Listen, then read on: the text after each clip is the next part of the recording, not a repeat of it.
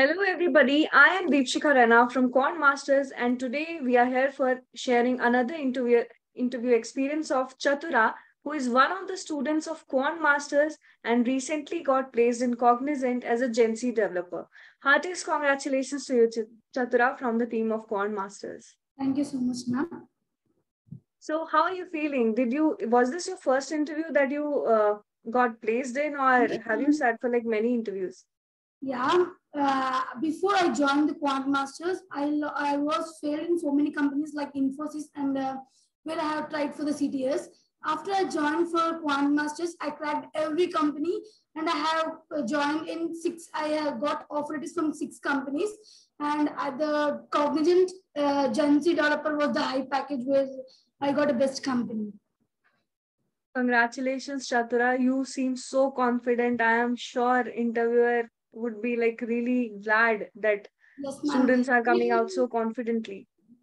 Yes, ma'am. Really, I can say that Quant Masters gives a best conference and best training for us to place in different companies. That's so nice, Chatra. That's so nice of you. So before starting, we would really like to know which department and college you're from. Yes, ma'am. Myself, my name is Chathura and I'm from Andhra Pradesh. I recently completed my BTech in uh, July and I uh, in the I done my BTech in the branch of Electronics and Communication Engineering in Gates Institute of Technology, Gooty. So, being a, a, student of electronics and communication, how did you get inclined towards uh, IT sector? Yes, ma'am. Uh, I'm much more interested in the software field where we, got, we want to improve ourselves in the future. Where the mm -hmm. I am interested in the programming to crack the First of all, when I, I joined before the Quant Masters in programming skills, I was in technical, I was much more less. When I joined through the training, I was more interested and learned a lot for the technical, for the interviews and for the exam to crack everything in the assessment and companies. Uh, Chathura, for everybody, there is a weaker part and there is a strong part. Uh, yes, subject if if it comes to subject so uh, when it comes to the placement uh, preparation, for everybody, there's a strong hold and there's a weak hold on a subject. So how did you manage? I, I mean, how did you balance on both and how did you improve on the one with the weaker yeah, uh, section? I want to crack my assessment test for the companies. It is, it is the main for the every student to crack the assessment level first of all after before the interview. So in I am good at logical and verbal but I was uh, much more less in the technical and the quant. When I joined the quant masters, I uh, there were so many logics, but without touching the pen, we can crack the quantitative and every question in seconds. So by practicing the every method daily, then we can crack the assessments definitely. And by using the model papers in the portal of the quant masters, uh, by the specific company training portals, I can practice that uh, questions. And uh, there is in week, there will be uh, some uh, coding question exams and we can participate in that so that we can improve our level.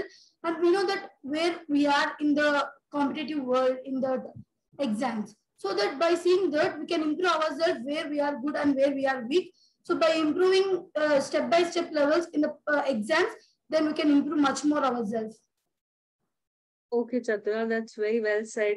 So, um, Chathura, since uh, the whole purpose of this interview experience that we are taking of yours, of Cognizant, is basically uh, to help those students who will be preparing for their uh, interviews of Cognizant or any other interviews uh, and will be looking out for more information on YouTube. So yes. we need to give as much information as possible. So whatever you remember, you have to say it, okay? Here. So let's start with how many rounds were there? First, uh, for everyone, there will be there is a uh, in GenC developer, there is a GenC and there is a GenC Elevate, ma'am. So mm -hmm. in GenC assessment in Cognizant, there is a two rounds. Round one is assessment test, and round two will be an interview. Will be both technical and HR in the same round. So first, okay. we want to crack the GenC assessment test. There mm -hmm. will be a logical, quantitative, and verbal where it is of a two hours exam. First, they'll give a mail for, uh, they'll give that, uh, there is a lot of phases, ma'am. They'll release in, uh, when we applied in the June, they gave me the phase three. I written my exam in July 23rd. So mm-hmm. there is the uh, there will be a timing of uh, from three to ten. We can write at any time. Okay. Okay. Our, uh, they'll give you a time slot. Yeah. Yes, ma'am. There is no specific time slot, but they'll give us a time of uh, six hours from three to ten. Something that we can write ourselves in uh, where we are available and comfortable timing. So okay. Uh, first of all, there will be a in GenC. First round will be of three three. First one is a quantitative, logical, and verbal and quantities of 24 questions and 35 minutes, where it is mm -hmm. of probability, average, time on work, ratio and proportions. And coming to the logical, it is also for 25 questions and 35 minutes. There will be at least one and a half minute for every question. Uh, mm -hmm. By practicing, we can definitely crack the CTS assessment. And in that will be analogy, syllogisms, and there will be a data interpretation and decision-making questions and circle questions. And coming to the mm-hmm. verbal ability, there is a synonyms, antonyms, vocabulary, subject verb agreement, passages. I think we should maintain the more speed in the passages where will be so much long in the cognizant. Uh, there will be time just for uh, 35 questions, that's 30 minutes.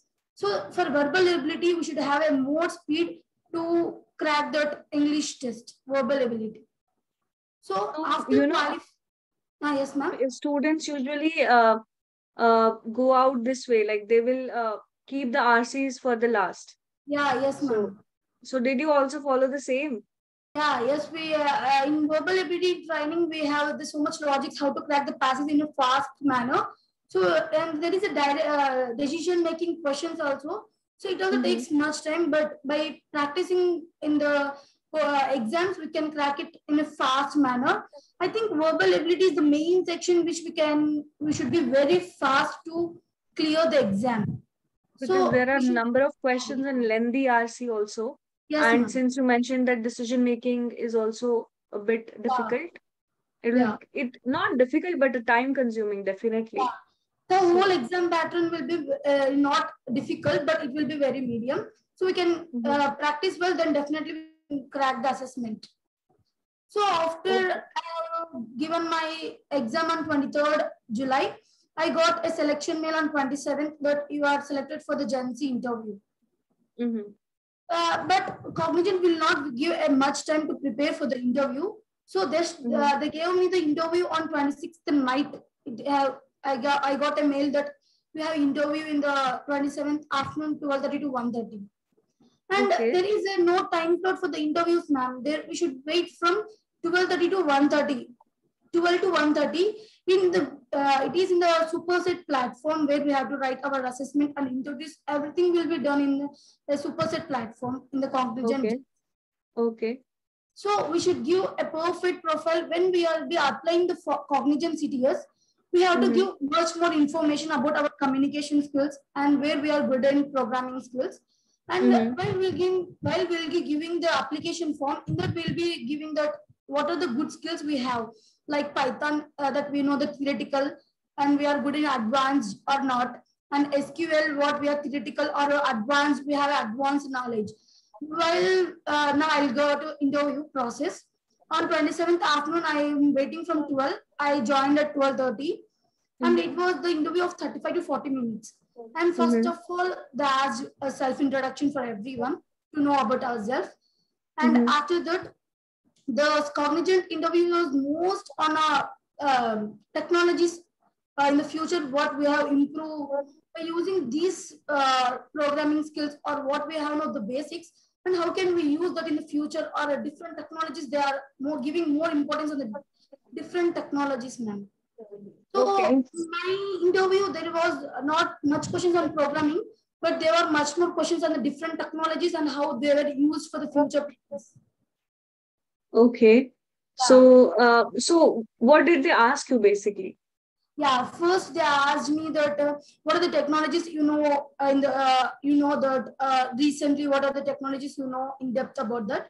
I said that artificial intelligence, machine learning, and deep learning, we have mm-hmm. learned basics of that com uh, cloud computing. They asked mm-hmm. that why you are using the artificial intelligence and where you can implement that, and what is the use of that uh, artificial intelligence to improve in the future.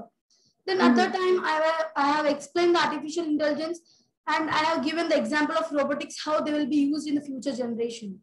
Mm-hmm. So yeah, in this way, I have explained our basic knowledge about the deep learning, machine learning, and artificial intelligence, and I have given the differences explanation. So it will be just uh, we should be be aware of the technologies, and we should know how they will be used in the future and how they are connected to our programming language. Chathura, mostly mostly interview will ask the question from CV only. So did yeah, you mention all these things in your CV? Yeah, ma'am. I want to say this. In Cognizant, in my interview, they're not even seen, I think so, about the uh, CV. They are seen that the application form, how what we have given that skills. In superset application, they asked that every language that uh, you know the C programming, then it is basic level or not. And second language, it is a Python. It is a medium or basic level. And they mm -hmm. ask the SQL and different uh, database languages. And we have to take the choices of that. And we have given uh, submitted the application form. Basis on the application form they are asking the questions on technical questions now when were you asked to fill the technical form? Uh, when we'll be applying i mean this uh, uh, this application form when did they ask you to fill the form in july i was applied for the programmable analyst training at the time mm -hmm. they asked uh, when we will be filling the application there will be every language we have to submit for them Okay, in the very beginning, when you fill the registration form at the time. Okay, okay. When you are applying at the time, they'll float a application form in which you have to mention all the skills yeah, and with the levels, how much level you know of it, like yeah, intermediate. Yeah, yeah. Yeah, yeah. Beginner uh, or advanced. Yeah. Yeah, in technical interview after the technologies, he asked me about the what are the programming languages you are good at. And I mm -hmm. said that I am good at C and Python. He asked some okay. basic questions in C about the pointers, mm -hmm. arrays, and what are the um, dynamic memory allocation in C. In simple mm -hmm. questions, he, uh, he explained and he asked how they will be used in the programming languages and what is the null pointer, what is the importance of that. He asked about the simple basic questions in C programming. And he, he, as I'm from the branch of electronics and communication engineering, they asked about the database, that is SQL structured query language. Mm -hmm. I said that, sir, okay. I just I just know the basics of the SQL, but he said that we have given in the application form that I know the theoretical knowledge of the SQL. Mm -hmm. So at that time I said, yes, sir, I know just basics of the SQL. Then he had some questions on the SQL. That is mm -hmm. HDD and SSD, ma'am. Where mm -hmm. HDD stands for hard disk drives and SSD mm-hmm. stands for uh, solid state drives. He asked about okay. the SQL drives. I have given a basic questions, but in-depth questions if he asked, I said that I am not sure uh, that about that SQL. Yeah, you need to be honest in front of an interviewer. Right? Yes, ma'am. I have given that answer. Then he said, okay, shall we move on to next? Again, after mm -hmm. this process, he asked the quant, I mean, quant questions in the interview. Okay. Okay. Yeah. In the superset, there is a uh, there is a I mean video and another side there is a programming language portal where uh, okay. they'll, they'll ask the programming we can write on the screen we can enable to see that and programmer also enable to see that uh, programming mm-hmm, portal mm -hmm. mm -hmm. And mm-hmm. there is a chat box where we can return uh, they'll give the questions in the chat box so so okay. that, we are given me a quant question about the percentages it is employees okay. and the company some related mm -hmm. question to the percentages then we have to mm -hmm. solve in front of him and we have to explain that uh, what are the techniques we have used for that one question. Would it be easy? Yeah, uh, it is not easy, ma'am. It is up to a 10 lines question for the for uh, in quant. Okay, okay. Not Fine. easy. I think it is a difficult. So we should uh, take I take a one minute or two minutes time to crack that uh, question. Question. I, yeah, I have explained him clearly. Then he said to, to go on next question. So I okay. think it's not easy to crack the interview by because uh, he will be testing our knowledge on the quant that how we are good at in the quant part and the logical part. Exactly. Exactly. So uh, did they ask you about the uh, project? Ah, yes, ma'am. After getting, after completing these quant questions to explanation of the him, next, then next he went to the project about the uh, what you have done your main project in your college. And mm -hmm. as I'm from electronics and communication engineering, I have done in the core uh, core field in the VLSI designing. So he mm-hmm. asked me in depth about what is your programming uh, language used, any programming language you have used in the uh, your hmm. project. Mm-hmm. Then I said that yes, we have used our programming code, but it is not an uh, com- uh, it is an programming language like Python or C language, but it is a VHDL and it is a code to the electronics and communication engineering. Then I okay. have explained what we have used and how it is used for the CH. I mean, new technologies. I have explained about that project. It's okay, okay. So, uh, Chatra, this lasted for around 20, uh, 30 to 35 minutes, as you mentioned. Uh, yes, ma'am, 35 to 40 minutes. Yeah. Okay. Yeah. Okay, okay. Did he uh, tell you to code anything? No, ma'am. He asked about in programming language basics questions he asked, and he asked me how that basics are used in the programming. If there is a null pointer, how will it will be a zero or will be a garbage value like that. It is a simple basic. With examples, yeah, basically. Yeah. Yes, he will be asking okay. the pointers and different types of pointers. Okay. He's, okay. He is not asking me as a program, but my friends, uh, some of my friends asked to write a code. What he will be asking. Mm-hmm. So uh, it is uh, very imperative. It is actually imperative to know the basic concepts of whatever you are learning and also some real time examples of it. Yeah. And also, why are you using it? Because yeah, you never know what question is going to be posed at you. Yes, what? they are testing that how we how uh, how we are learning and how we are practicing that uh, to explain the other persons in the project. They are asking that if we'll be explaining, we should know the how it is used in the future and uh, how we can explain with the example. Exactly, exactly. So, Chathura, uh, you have uh, covered almost everything. So, this was the last uh, round for you, right? Yes, ma'am. Uh, after the technical questions, he has he has some HR questions that uh, uh, uh, why you want to join this uh, company as a CTS. He mm -hmm. asked one of the question in the HR and he asked about the, my family background. What is our family members and what are they doing? They, these are some questions based on uh, hr round. Yeah. So after how many days did you get the result of the second round? After 27th uh, in uh, actually i want to say that uh, after the interview of 40 minutes indirectly in the interview he said that you are selected for the cts so oh. yeah. In, uh, in uh, interview only he said that you are selected for the cts uh, i'm happy to they uh, meet you in CTS. So directly he said in the interview. But uh, the result uh, officially it was announced on August 21st. We got a selection mail. Oh, okay, almost uh, one month. Yeah, yeah. Uh, from uh, 27th July to August 21st. Yeah, ma'am, it take a long time to get a mail. And okay. uh, September 1st, we got uh, full letters and upload documents. Okay, okay. So, uh, okay, fine. So, Chathura, uh, thank you for sharing your interview experience with us. Uh, I hope it will help numerous students who will be preparing for the interview as of Cognizant as a GenC developer. So, all the very best for your future and to all the students uh, who are preparing for their interviews or any competitive exams, all the very best. Thank you so much, Nima.